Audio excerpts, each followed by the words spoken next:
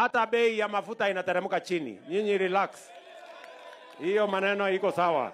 Tunaelewana sawa sawa? Si leo ni tarehe ngapi?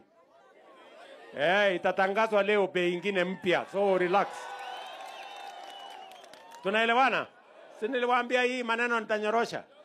Eh, so nyinyi relax, mambo iko sawa. Tumekubaliana Kenya tutabadilisha kwa mipango na miradi ya maendeleo, na mimi nataka niliwaomba nafasi kidogo ninyoroshe uchumi. Si mnaona hiyo uchumi karibu inashika laini ama namna gani?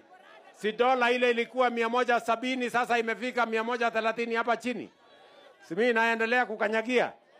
So tulikuwa na mambo ya madeni mengi, lakini hiyo mambo ya madeni sasa nimenyorosha, imeingia laini, na nataka niwahakikishie sasa tuko na nafasi ya kuweka miradi ya maendeleo kipaumbele, and that is why nimefika hapa leo kuhakikisha kwamba vile tunashughulika Kenya ingine, pia Kericho iko katikati ya mipango yetu.